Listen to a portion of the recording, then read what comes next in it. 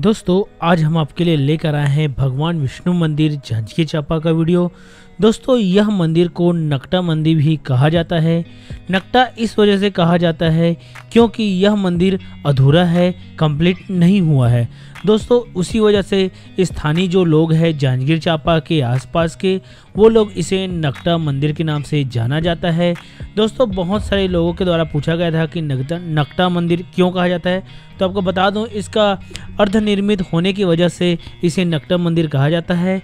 और दोस्तों, आपको बता दूँ, इसका निर्माण ग्यारहवीं शताब्दी में कलचुरी शासकों द्वारा कराया गया था। तो चलिए आपको लेकर चलते हैं मंदिर के अंदर और यह जो तालाब दिख रहा है, यह भीमा तालाब है दोस्तों।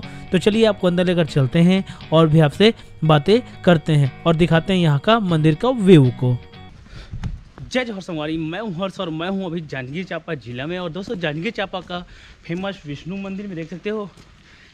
यह ऐतिहासिक मंदिर है दोस्तों। आसपास का भी देख सकते हो तो बहुत ही प्यारा है और मंदिर आपको दिखाई दे रहा होगा। और जस्ट बगल में गार्डन वगैरह भी बहुत अच्छे से बना दिए देख सकते हो। पहले आपको आइट साइड का भी दिखाता हूँ, फिर मंदिर को दिखाता हूँ।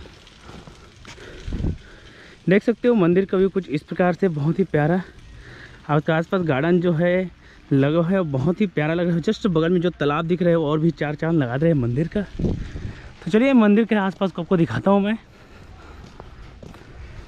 दोस्तों ये मंदिर जो देख सकते हैं, ये बहुत ही प्राचीन है और यहाँ की मूर्तियाँ बहुत कुछ बया करती है। देख सकते कुछ इस प्रकार से।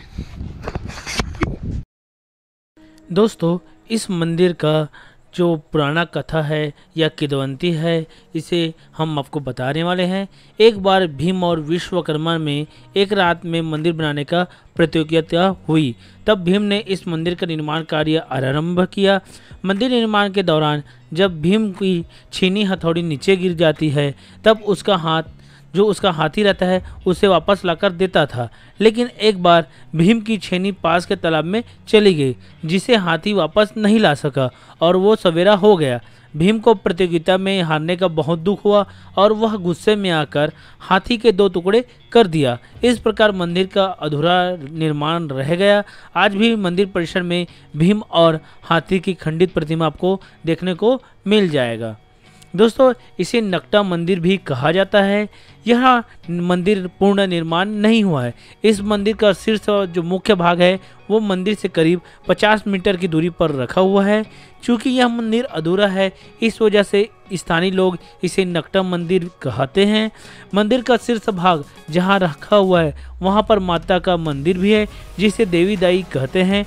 इस मंदिर के प्रवेश द्वार पर चंदवा बैगा की स्मृति में एक मंदिर का निर्माण किया गया है। दोस्तों, यह मंदिर अर्धनिर्मित है। मंदिर विशाल चबूतरे पर स्थित है। यह चबूतरा 33.3 मीटर लंबा और 22.3 मीटर चौड़ा है। इसका पूर्वी भाग में विभिन्न स्फुट प्रतिमाओं का साथ राम कथा के दृश्य उकेरे गए हैं। एक फलक पर धनुर्धारी राम सीता, लक्ष्मण, रावण एवं मिग जो मृग उकेरे गए हैं। दूसरे फलक पर सीताहरण दिखाया गया है। तीसरे फलक पर राम द्वारा एक बाण से सात ताल वृक्षों का भेदन किया गया है। पश्चिमी भाग में कृष्ण कथा का उल्लेख भी यहाँ पर दर्शाया गया है। तो दोस्तों, जब आप जाओगे तो ये सब कुछ अपने को देखने को मिल जाएगा। आप देख रहे हो, इतना प्यारे प्यारे यहाँ पर चित्र का उल्लेख किया गया है। तो चलिए और आपको लेकर चलते हैं। तो दोस्तों, ये जो आप देख रहे हो, ये विष्णु मंदिर है और आसपास का जो एरियल भी देख सकते हो, बहुत ही बड़ा है और ये खंडित मूर्तियाँ हैं। अभी रंग रोपण के बाद इसको खोला जाएगा और मूर्तियाँ तो आसपास का व्यू देखो बहुत ही प्यारा लग रहा है। चलिए और भी आपको दिखाते हैं। दोस्तों, आपको मैं बता दूँ, इस मंदिर का एक किदवंती और है। इस मंदिर के निर्माण से संबंधित अनेक जन स्मृतियाँ प्रचलित है।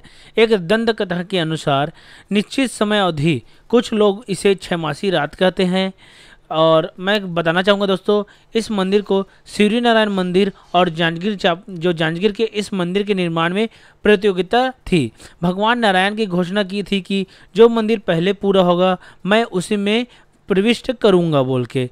तो दोस्तों, आपको बताऊँगा कि भगवान सूर्य नारायण जो मंदिर है, वो पहले बन गया और भगवान नारायण उसमें प्रविष्ट हो गए जांजगीर का यह मंदिर सदा के लिए अधूरा छूट गया एवं अन्य दंत कथा के अनुसार इस मंदिर का निर्माण प्रतिक्रिया में पाली के शिव मंदिर को भी सम्मिलित बताया गया है। इस कथा के, जो इस कथा के पास में स्थित शिव मंदिर को इसका शीर्ष भाग बताया गया है, जो मैंने आपको पहली वीडियो में शिव मंदिर जांजगीर चापा लाया हूँ।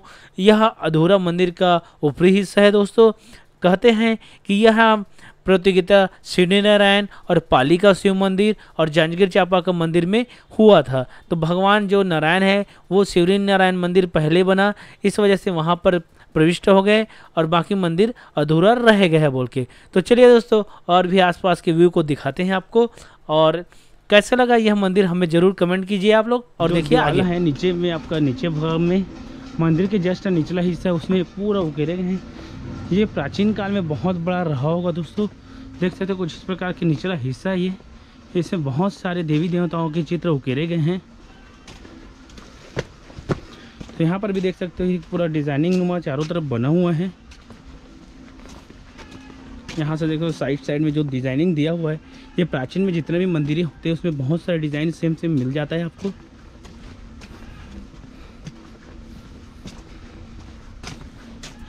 यहाँ से भी देख सकते हो, नीचे में। और इन मंदिर का निचला हिस्सा है। तो मंदिर पूरा एक राउंड हम घूमने वाले दोस्तों, देख सकते हैं यहाँ से। और ये जो मंदिर है, जो छोटे छोटे चित्र हैं, ये देख सकते हैं। ये भी पत्थर का बना हुआ छोटा छोटा चित्र है।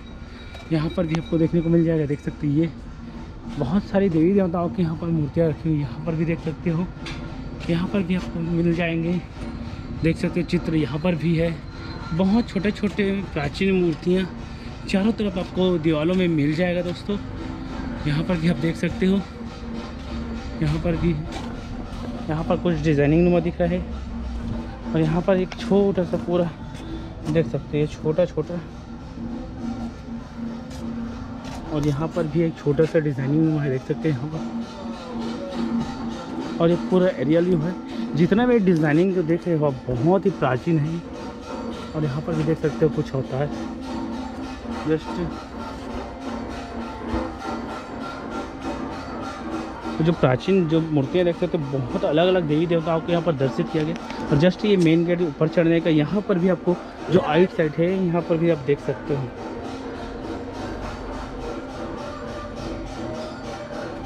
और जस्ट ये वालों की इस साइड भी आपको मिल जाएगा।